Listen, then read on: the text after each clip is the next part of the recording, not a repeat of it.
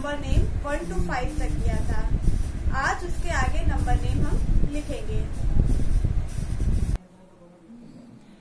Number N U M B या number, name N A M E name.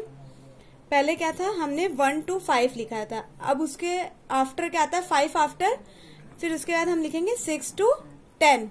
Okay? Example के तौर पे मैंने, देखिए, वन डिजिट लिखा और उसका नेम लिखा ओ एन ई वन फिर टू नंबर लिखा, फिर यहाँ पे लिखा टी डब्ल्यू ओ टू फिर थ्री लिखा, फिर यहाँ पे T H R double E three फिर यहाँ पे फोर लिखा, यहाँ पे F O U R four फिर यहाँ पे five F I V E five five after क्या आता है? फाइव आफ्टर हमारा सिक्स तो यहाँ पे हम ऐसे सिक्स डिजिट लिखेंगे। फिर यहाँ पे ऐसे एस आई एक्स सिक्स हो गया।